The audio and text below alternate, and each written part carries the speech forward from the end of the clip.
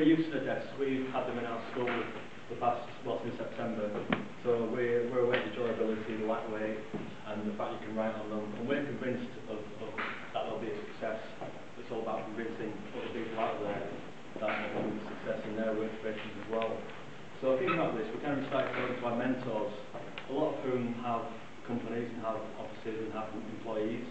I kind of thought, by speaking to them, what we found out was backed up the research done by Hunting Dynasty, the mindset of uh, furniture is permanent, cardboard is temporary. Then we thought, well, if the desk can be rented, that would surely be for a temporary or a finite amount of time. So perhaps we should emphasise the rentability of the desk to potential uh, uh, customers. So we thought, how do we emphasise the rentability? So what we came to was the most obvious kind of visual key, which is the London hire scheme. So this is a kind of mock-up.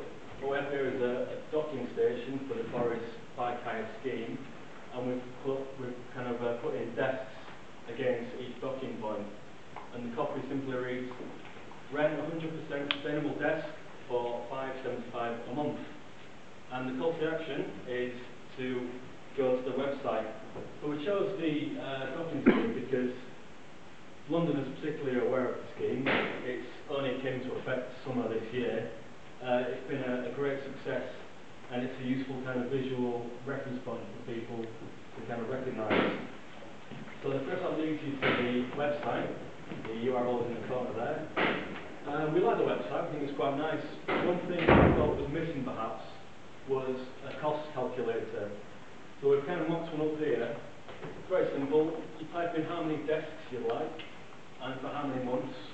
You add, press total and the uh, figure will appear. That then leads to an online order form also embedded within the website. Um, and also when you order, or even if you don't order, you have the option to register on the website. By doing so, you receive a piece of DM.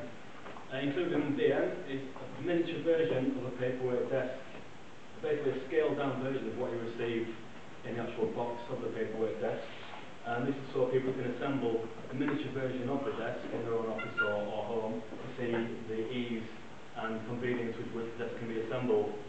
Um, people actually go through to the and, and apply to the DM will also receive uh, a discounted offer, an incentive to get uh, a desk for themselves. We also thought of a, a viral, go back one please.